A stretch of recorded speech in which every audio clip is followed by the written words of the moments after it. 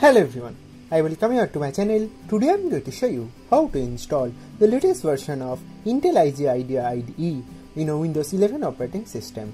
So let's begin. Now in my previous video I have already showed you how to install the latest version of Java. Now it's time to install one IDE.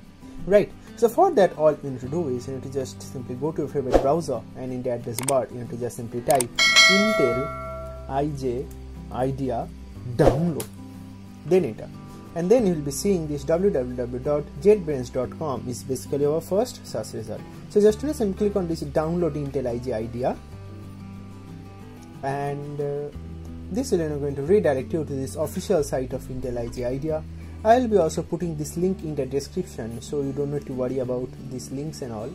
So let us first cancel these cookies and in here you can clearly see that it is available for Windows, Mac OS and Linux, right? So since we are going to download it for Windows, so I'm going to you know simply going to stay in this Windows tab and here you can see two versions is available. One is Ultimate, another is this community one. So I'm going to use this community version. So for that just simply click on this download button and it will you know going to start downloading our IntelliJ IDEA, right?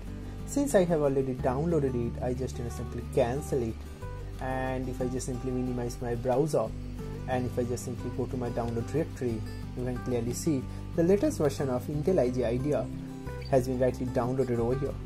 Now to install just simply double click on it. And in this will going to ask you for administrative privileges. So for that just simply click on yes.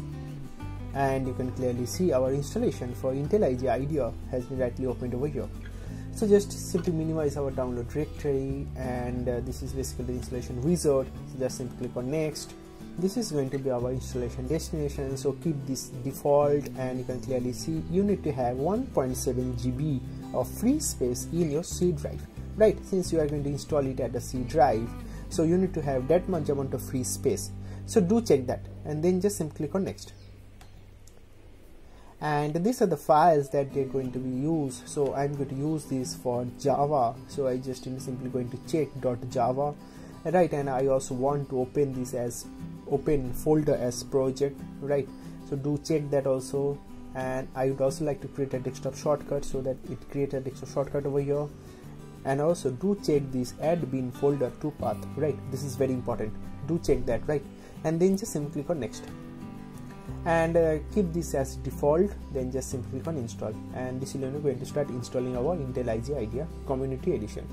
So this entire process will take a couple of minutes. So what I'll be doing is I'll be coming back right after installing IntelliJ IDEA. Yeah. So we'll come back. And now as you can clearly see our IntelliJ IDEA has been rightly installed and is currently asking whether you want to reboot it later. So you can always reboot it later but I will still recommend you to reboot it now. Right so you need to just you know simply going to check this reboot now and going to just simply click on finish so that you can again come back after rebooting your system. Right. So after rebooting your system all you need to do is you need to just simply click on this IntelliJ IDEA desktop shortcut and you can clearly see our desktop community edition terms and conditions has been rightly shown over here. So this is basically the license agreement.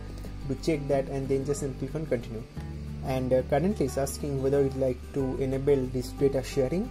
So for the time being I don't want to send any users so just you know simply click on don't send. And this is you know going to launch our IntelliJ IDEA community edition. And you can clearly see it has rightly launched over here. So just you know simply maximize it. Welcome to IntelliJ IDEA. So just you know simply click on new project. And this is you know going to open this window.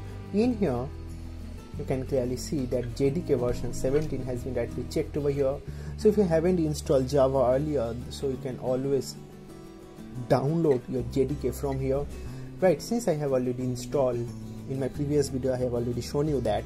So you can see that it has you know rightly checked over here this uh, 17 version. Right so just you know simply click on next and do check this create project from template so that we can get our default main method and all and then just simply click on next. And now it's time to give our project name. So this is the first project that we are creating. So let's give the project name as a hello world. And uh, this base package you can just keep this default or you can change this company with your name.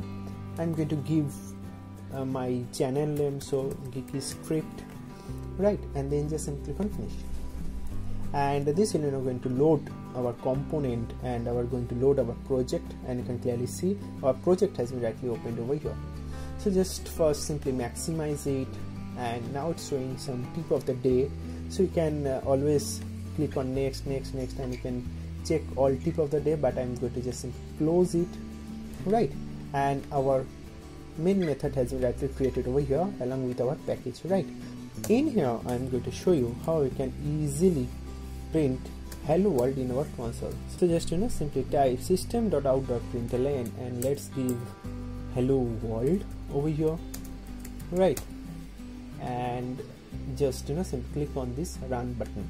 And you can see our build has been directly started.